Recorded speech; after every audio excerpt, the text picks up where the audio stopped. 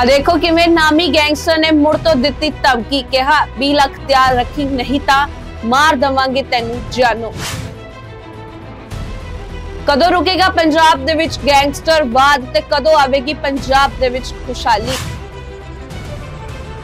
ਤੁਸੀਂ ਵੇਖ ਰਹੇ ਹੋ ਦਾ ਟੀਵੀ ਐਨਆਰਆਈ ਮੈਂ ਹਾਂ ਗਰੇਮਾ। ਗੱਲ ਕਰ ਲਈਏ ਕਿ ਜਿਸ ਤਰੀਕੇ ਤੇ ਪੰਜਾਬ ਦੇ ਦਿਨੋ ਦਿਨ ਹਾਲਾਤ ਖਰਾਬ ਹੁੰਦੇ ਜਾ ਰਹੇ ਆ, ਤਾਂ ਤੁਹਾਨੂੰ ਦੱਸ ਦਈਏ ਕਿ ਵੱਡੀ ਖਬਰ ਸਾਹਮਣੇ ਆ ਰਹੀ ਹੈ ਕਿ ਪੰਜਾਬ ਦੇ ਵਿੱਚ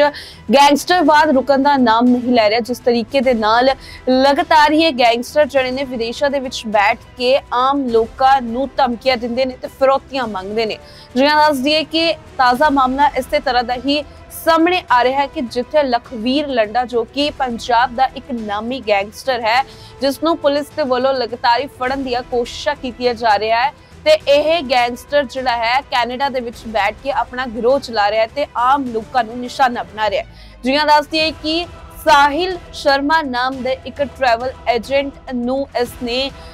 ਮੁੜ ਤੋਂ ਧਮਕੀ ਦਿੱਤੀ ਹੈ ਤੇ 20 ਲੱਖ ਰੁਪਏ ਦੀ ਫਿਰੋਤੀ ਮੰਗੀ ਹੈ। ਜਿਸ ਤੋਂ ਬਾਅਦ ਇਹ ਮਾਮਲਾ ਬਹੁਤ ਜ਼ਿਆਦਾ ਗਰਮਾ ਗਿਆ ਤੇ ਇਸ ਦੇ ਨਾਲ ਹੀ ਜਿਹੜਾ ਟਰੈਵਲ ਏਜੰਟ ਹੈ ਉਸ ਦਾ ਕਹਿਣਾ ਹੈ ਕਿ ਇਸ ਦੇ ਵੱਲੋਂ ਜੋ ਹੈ ਮੇਰੀ ਰੇਕੀ ਕਰਵਾਈ ਜਾ ਰਹੀ ਹੈ ਤੇ ਜਿਸ ਤੋਂ ਬਾਅਦ ਹੈਰਾਨੀ ਵਾਲੀ ਗੱਲ ਤਾਂ ਇਹ ਹੈ ਕਿ WhatsApp ਤੇ ਕਾਲ ਆਂਦੀ ਹੈ ਤੇ ਉਸ ਤੋਂ ਬਾਅਦ ਧਮਕੀ ਦਿੱਤੀ ਜਾਂਦੀ ਹੈ ਕਿ 20 ਲੱਖ ਤਿਆਰ ਰੱਖਣ, ਨਹੀਂ ਤਾਂ ਮੈਂ ਤੈਨੂੰ ਜਾਨੋਂ ਮਾਰ ਦੇਣਾ ਹੈ ਤੇ ਤੇਰਾ ਪਰਿਵਾਰ ਪੂਰੀ ਜ਼ਿੰਦਗੀ ਰੋਂਦਾ ਰਹਿ ਜਾਵੇਗਾ। ਇਸ ਦੇ ਨਾਲ ਹੀ ਹੁਣ ਸਾਹਿਲ ਦੇ ਵੱਲੋਂ ਜਿਹੜਾ ਹੈ, ਉਹ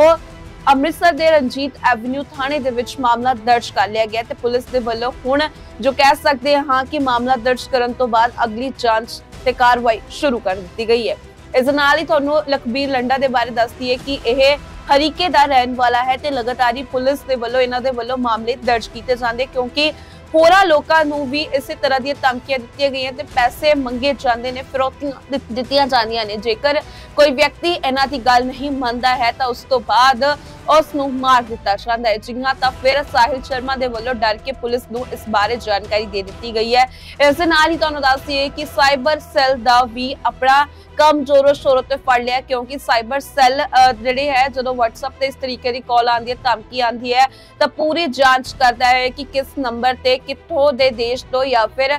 ਕਿਸ ਦੇ ਵੱਲੋਂ ਕਾਲ ਕੀਤੀ ਗਈ ਹੈ ਤੇ ਕਿਉਂ ਧਮਕੀ ਦਿੱਤੀ ਗਈ ਹੈ। ਇਸ ਦੇ ਨਾਲ ਹੀ ਤੁਹਾਨੂੰ ਇਹ ਵੀ ਦੱਸਦੀ ਹੈ ਕਿ ਇਸ ਤੋਂ ਬਾਅਦ ਪੁਲਿਸ ਦੇ ਵੱਲੋਂ ਲਗਾਤਾਰ ਹੀ ਮਾਮਲੇ ਨੂੰ ਸੰਜੀਦਗੀ ਦੇ ਨਾਲ ਦੇਖਿਆ ਜਾ ਰਿਹਾ ਤੁਹਾਨੂੰ ਇਹ ਵੀ ਦੱਸ ਦਈਏ ਕਿ ਆਏ ਦਿਨ ਹੀ ਲਖਬੀਰ ਲੰਡਾ ਸੁਰਖੀਆਂ ਦੇ ਵਿੱਚ ਜਿਸ ਤਰੀਕੇ ਦੇ ਨਾਲ ਇਹ ਗੈਂਗਸਟਰ ਜਿਹੜਾ ਹੈ ਆਏ ਦਿਨ ਹੀ ਆਮ ਲੋਕਾਂ ਨੂੰ ਧਮਕੀਆਂ ਦੇ ਰਿਹਾ ਹੈ ਤੇ ਇਸ ਦੇ ਨਾਲ ਹੀ ਅ, ਵੱਡੀ ਗੱਲ ਤਾਂ ਇਹ ਹੈ ਕਿ ਸਾਹਿਲ ਸ਼ਰਮਾ ਜਿਹੜੇ ਟਰੈਵਲ ਏਜੰਟ ਹੈ ਅੰਮ੍ਰਿਤਸਰ ਦੇ ਵਿੱਚ ਤੇ ਉਸ ਤੋਂ ਉਹਨਾਂ ਦਾ ਕਹਿਣਾ ਹੈ ਕਿ ਜਿਸ ਤਰੀਕੇ ਦੇ ਨਾਲ ਮੇਰੀ ਰੇਕੀ ਕਰਵਾਈ ਗਈ ਹੈ, ਕਿਉਂਕਿ WhatsApp ਤੇ ਜਦੋਂ ਕਾਲ ਆਈ ਸੀ, ਉਸਦੇ ਵੱਲੋਂ ਇਹ ਤੱਕ ਕਿਹਾ ਗਿਆ ਕਿ ਤੂੰ ਕਦੋਂ ਨਿਕਲਦਾ ਹੈ, ਕਦੋਂ ਜਾਂਦਾ ਹੈ ਘਰੇ ਤੇ ਕਦੋਂ ਤੇ ਕੀ ਤੇਰੇ ਪਰਿਵਾਰ ਦੇ ਮੈਂਬਰ ਕਰਦੇ ਨੇ। ਇਸ ਤੋਂ ਬਾਅਦ ਇਹ ਮਾਮਲਾ ਹੋਰ ਭਖਦਾ ਹੋਇਆ ਨਜ਼ਰ ਆ ਪੁਲਿਸ ਤੋਂ ਸਿਕਿਉਰਿਟੀ ਮੰਗੀ ਹੈ ਕਿ ਜੇਕਰ ਮੈਨੂੰ ਕੁਝ ਹੋ ਜਾਂਦਾ ਹੈ ਤਾਂ ਪੁਲਿਸ ਜਾਂ ਇਹ ਵਿਅਕਤੀ ਜ਼ਿੰਮੇਦਾਰ ਹੋਵੇਗਾ, ਨਹੀਂ ਤਾਂ ਮੇਰੇ ਪਰਿਵਾਰ ਨੂੰ ਸੁਰੱਖਿਆ ਦਿੱਤੀ ਜਾਵੇ। ਤੇ ਇਸ ਤੋਂ ਬਾਅਦ ਤੁਹਾਨੂੰ ਇਹ ਵੀ ਜਾਣਕਾਰੀ ਦੇ ਦਿੰਦੇ ਆ, ਜਿਸ ਤਰੀਕੇ ਦੇ ਨਾਲ ਇਹ ਗੈਂਗਸਟਰਸ ਜਿਹੜੇ ਆ ਧਮਕੀਆਂ ਦਿੰਦੇ ਨੇ, ਉਸ ਤੋਂ ਬਾਅਦ ਪੰਜਾਬ ਦੇ ਮਾਹੌਲ ਤਾਂ ਖਰਾਬ ਹੁੰਦਾ ਹੀ ਹੈ, ਪਰ ਉੱਥੇ ਹੀ ਆਮ ਲੋਕਾਂ ਦੀ ਸੁਰੱਖਿਆ ਦੇ ਵਿੱਚ ਵੀ ਸਵਾਲ ਪੈਦਾ ਹੋ ਜਾਂਦੇ। ਕਿਸ ਤਰੀਕੇ ਦੇ ਨਾਲ ਇਹ ਗੈਂਗਸਟਰ ਜਿਹੜੇ ਆ ਵਿਦੇਸ਼ਾਂ ਦੇ ਵਿੱਚ ਬੈਠੇ ਜਿਹੜੇ ਹੈ, ਗੈਂਗ ਚਲਾ ਰਹੇ ਨੇ, ਪੰਜਾਬ ਦੇ ਲੋਕਾਂ ਨੂੰ ਦੁਖੀ ਕਰ ਰਹੇ ਨੇ। ਇਸ ਦੇ ਨਾਲ ਹੀ ਜਿਸ ਤਰੀਕੇ ਦੇ ਨਾਲ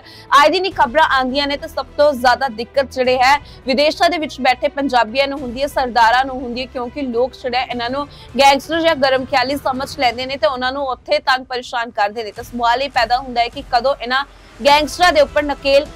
ਖਿੱਚੀ ਜਾਵੇਗੀ ਕਿਉਂਕਿ ਇਹਨਾਂ ਗੈਂਗਸਟਰਾਂ ਦੇ ਹੱਥ ਕਈ ਸਾਡੇ ਨਾਮੀ ਸਿੰਗਰਸ ਵੀ ਤੇ ਕੱਲ ਖਬਰਾਂ ਨਸ਼ਰ ਹੋ ਰਹੀ ਸਨ ਕਿ ਦੋ ਨਾਮੀ ਸਿੰਗਰਾਂ ਦੇ ਉੱਪਰ ਵੀ ਇਹਨਾਂ ਗੈਂਗਸਟਰਾਂ ਦੀ ਨਜ਼ਰ ਸੀ ਤੇ ਉਹਨਾਂ ਦੀ ਵੀ ਰੇਕੀ ਕਰਵਾਈ ਜਾ ਰਹੀ ਸੀ ਤੇ ਫੋਨਾਂ ਦੇ ਉੱਪਰ ਜਾਨੋਂ ਮਾਰਨ ਦੀ ਧਮਕੀਆਂ ਦਿੱਤੀਆਂ ਜਾ ਰਹੀਆਂ ਸਨ ਤੇ ਇਸ ਤੋਂ ਬਾਅਦ ਤੁਹਾਨੂੰ ਇਹ ਵੀ ਦੱਸ ਦਈਏ ਕਿ ਮਰਹੂਮ ਪੰਜਾਬੀ ਸਿੰਗਰ ਸਿੱਧੂ ਮੂਸੇਵਾਲੇ ਦਾ ਵੀ ਕਤਲ ਇਹਨਾਂ ਗੈਂਗਸਟਰਾਂ ਦੇ ਵੱਲੋਂ ਹੀ ਕਰਵਾਇਆ ਗਿਆ ਸੀ। ਉਸ ਦੇ ਵਿੱਚ ਵੀ ਇਹੀ ਫਰੋਤੀਆਂ ਦੇ ਮਾਮਲੇ ਚੱਲ ਰਹੇ ਸਨ ਤੇ ਜਿਸ ਤੋਂ ਬਾਅਦ ਉਹਨਾਂ ਦੇ ਮਾਪੇ ਦੇ ਵੱਲੋਂ ਅੱਜ ਤੱਕ ਸਰਕਾਰ ਦੇ ਅੱਗੇ ਇਨਸਾਫ ਦੀ ਗੁਹਾਰ ਮੰਗੀ ਜਾ ਰਹੀ ਹੈ, ਪਰ ਅਜੇ ਤੱਕ ਇਨਸਾਫ ਨਹੀਂ ਮਿਲਿਆ ਤੇ ਇਸ ਦੇ ਨਾਲ ਹੀ ਗੈਂਗਸਟਰਵਾਦ ਪੰਜਾਬ ਦੀ ਸਭ ਤੋਂ ਵੱਡੀ ਤਰਾਸਦੀ ਰਹੀ ਹੈ, ਜਿਸ ਤਰੀਕੇ ਦੇ ਨਾਲ ਗੈਂਗਸਟਰਵਾਦ ਪੰਜਾਬ ਦੇ ਵਿੱਚ ਵਾਧਾ ਜਾ ਰਿਹਾ ਤੇ ਹੁਣ ਇਹ ਗੈਂਗਸਟਰਵਾਦ ਪੰਜਾਬ ਤੋਂ ਬਾਹਰ ਜਾ ਕੇ ਪੰਜਾਬ ਨੂੰ ਵੀ ਬਦਨਾਮ ਤੇ ਪੰਜਾਬ ਨੂੰ ਤਬਾਹ ਕਰਨ ਦੀਆਂ ਸਾਜ਼ਿਸ਼ਾਂ ਰਚਦਾ ਹੋਇਆ ਨਜ਼ਰ ਆਇਆ। ਤਾਂ ਤਾਜ਼ਾ ਮੁੱਦਾ ਬੇਹੱਦ ਜ਼ਿਆਦਾ